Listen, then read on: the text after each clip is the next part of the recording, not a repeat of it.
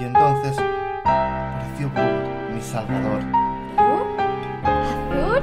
¿Buscas a alguien? ¿Y ahora qué quieres? ¿Convertir mi casa en un comedor social? Que Christopher ya no quedaban más que los callejeros. Te ha salvado la vida. Muchas gracias. Una limosna. Lo que quieras, pero meterlo en casa. Vive en la calle, no tienes ni idea de quién puede ser. A lo mejor hasta te cae bien. Pero tú estás tonto, ¿qué te pasa?